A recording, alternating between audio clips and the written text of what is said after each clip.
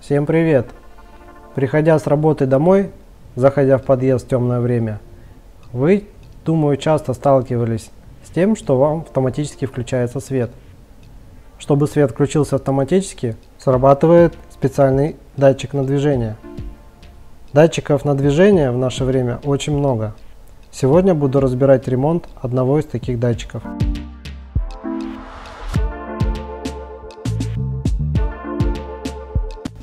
Такой датчик называется инфракрасный датчик движения.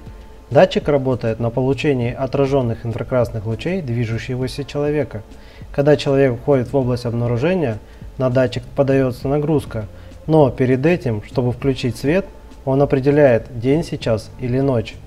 Соответственно, такой тип датчиков можно назвать «включил и забыл». Днем он не будет свет включать, с наступлением ночи он начнет его включать.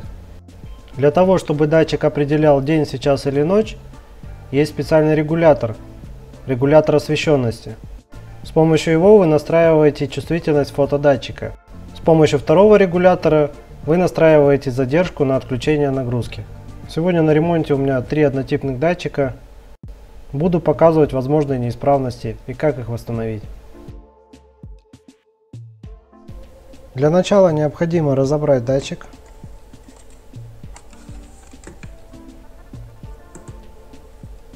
Внутри он выглядит вот таким образом.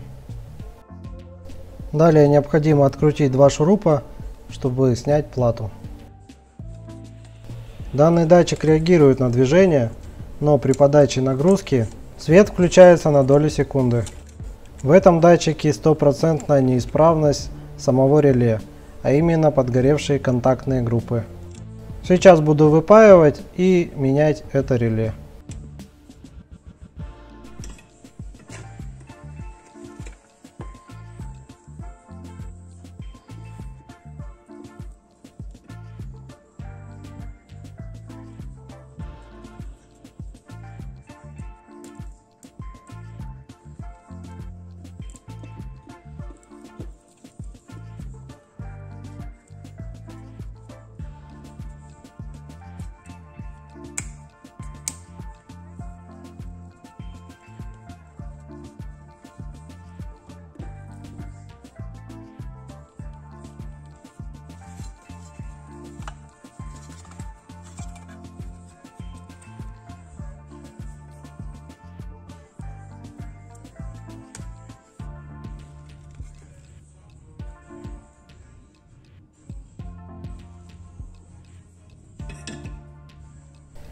Реле у нас включается от 24 вольт. Желательно найти такое же на такое же напряжение.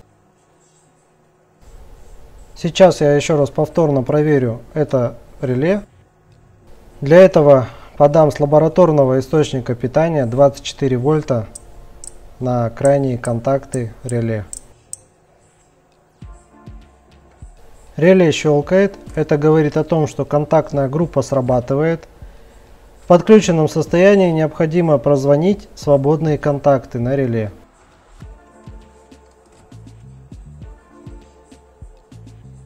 В подключенном состоянии должно показывать короткое, в отключенном состоянии должно показать бесконечность. Судя по всему, контакта нет.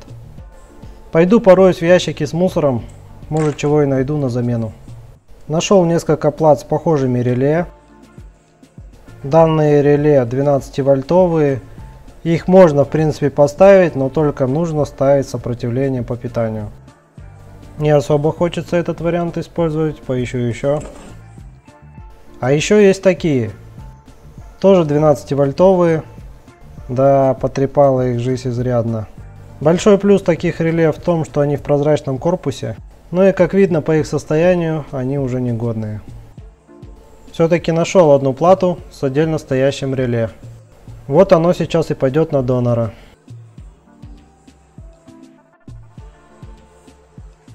Далее перед установкой, конечно же, надо реле проверить.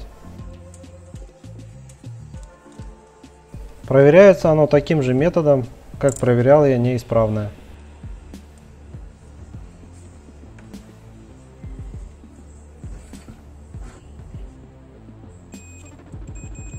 Подключенном состоянии контакт есть.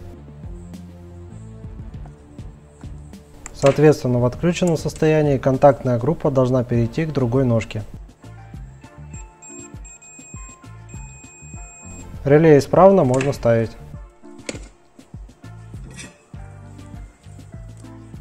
Подготавливаем контактные отверстия. Лучше всего для этого подходит зубочистка.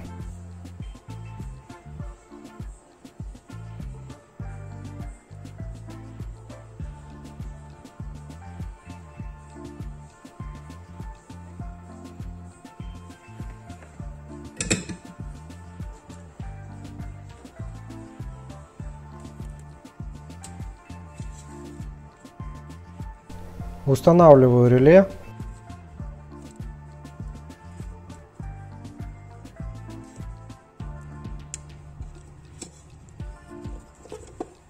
Как выясняется, нужный мне контакт короткий.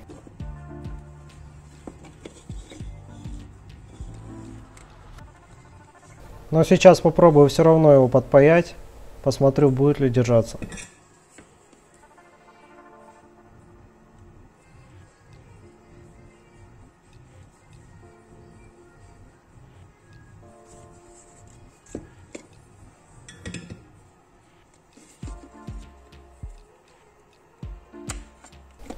Да, не держится.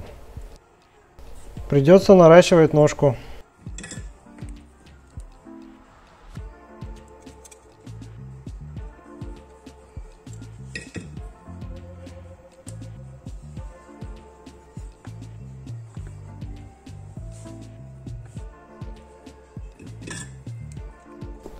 Сегодня в видео в качестве флюса использую канифоль, так как канифоль самый легкодоступный флюс.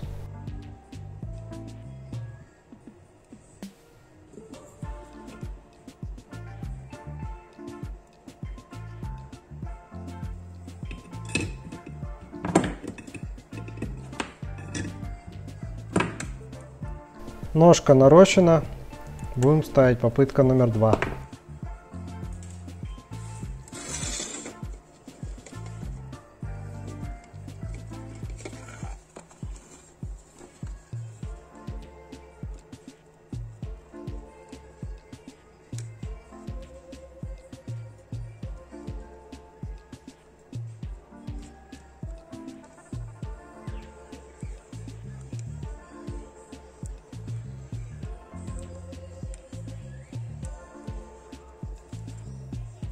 Реле будет немножко приподнято, так как нарощенная ножка не дает его опустить полностью.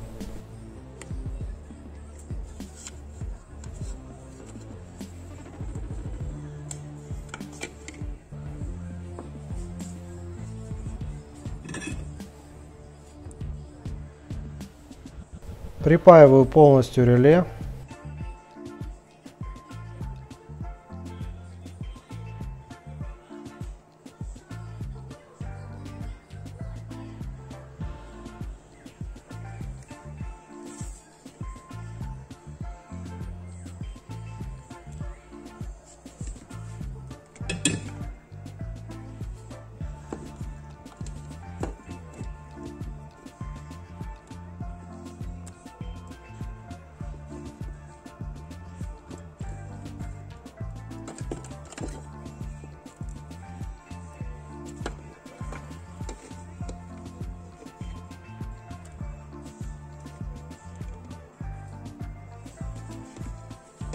Далее необходимо убрать все за собой, а именно смыть остатки флюса. Я смываю флюс растворителем 646.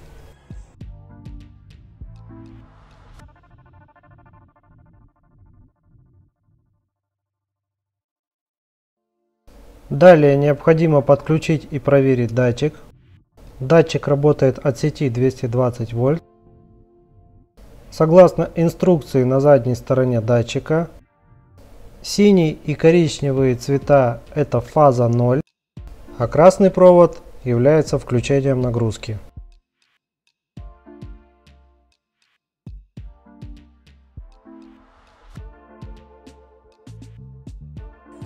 Датчик подключен к сети. Далее необходимо проверить напряжение на красном и синем контакте.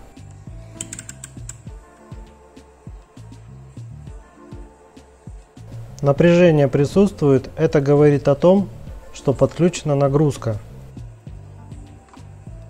Чтобы датчик сработал на отключение, необходимо накрыть сверху крышку.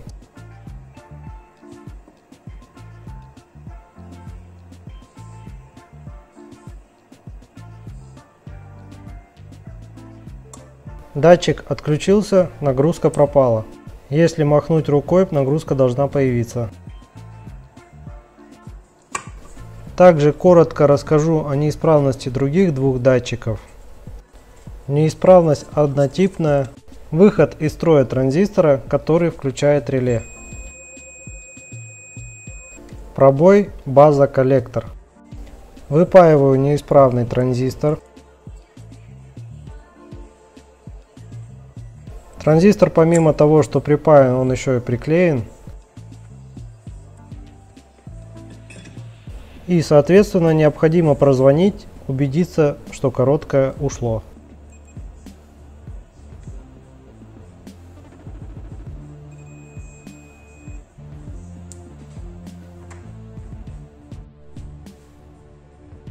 Транзистора в SMD корпусе у меня не было, я выяснил, что включение реле происходит за счет минуса, соответственно транзистор нужен NPN.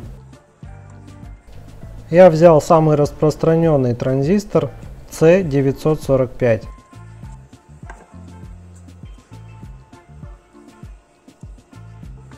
Далее проверяем. Необходимо также накрыть сверху крышкой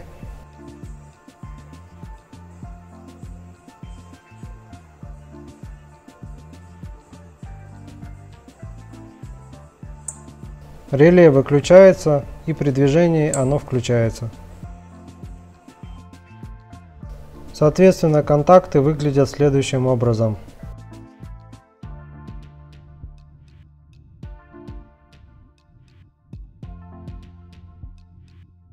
У третьего датчика точно такая же неисправность, неисправен транзистор. Ставится тот же самый транзистор точно в таком же направлении. И проверяется также, накрывается крышкой.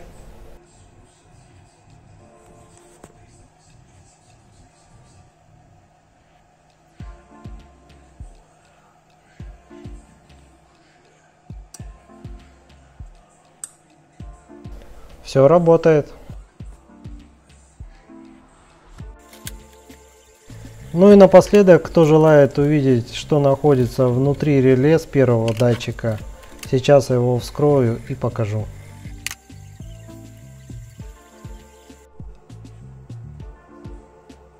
Видно, что все черное, контакт подгоревший. Соответственно, при включении контактной группы лампа не загоралась. Вот такие три несложных ремонта не спешите выбрасывать свои датчики, если они у вас есть. Неисправности могут быть простыми.